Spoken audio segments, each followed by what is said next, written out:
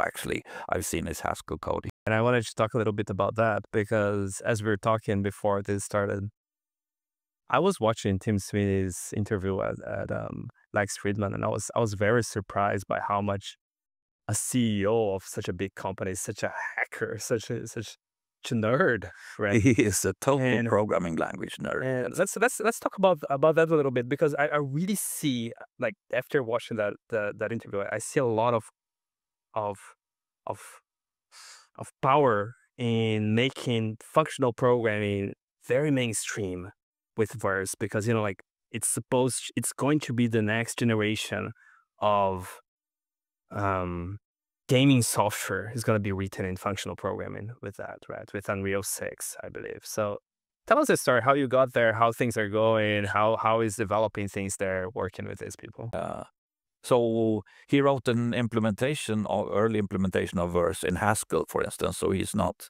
it's not like he doesn't know Haskell. Oh, actually, I've seen his Haskell code. He doesn't know Haskell. Did you also cut that out of the podcast? No, that's. I shouldn't say he doesn't know Haskell. He doesn't know the Haskell libraries. I think he knows the language well enough. So, so verse is not a pure functional language.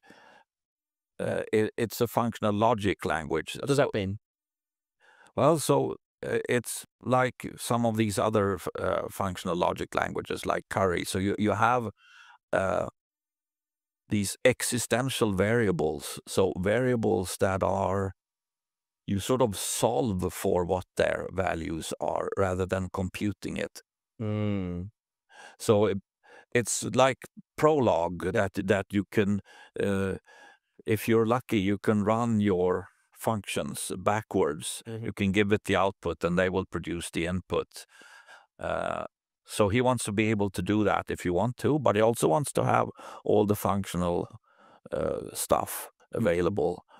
never seen both of those together Mm, yeah, and so um I when I'd seen them, I've always dismissed it as being this, you shouldn't mix these sort of Yeah. pure logic languages. They're beautiful. They're sort of logic. You do it that way, or pure functions. Yeah. That's beautiful. You combine them, you get something weird.